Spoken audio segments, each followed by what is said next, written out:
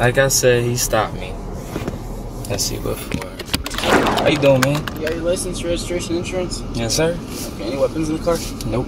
Okay. Can I get it from my glove box? Yeah, please. Can I ask you why you stopped me? So you can't have anything hanging from your rearview mirror?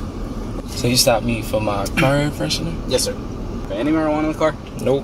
Okay. You smoke marijuana? No. Mr. Colbert, when's the last time you did smoke marijuana? I never smoked. I Never? just said that.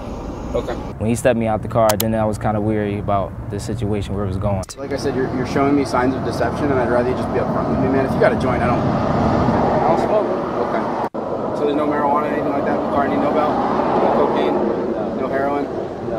Okay. Um, did you have any objection to me searching your car, man?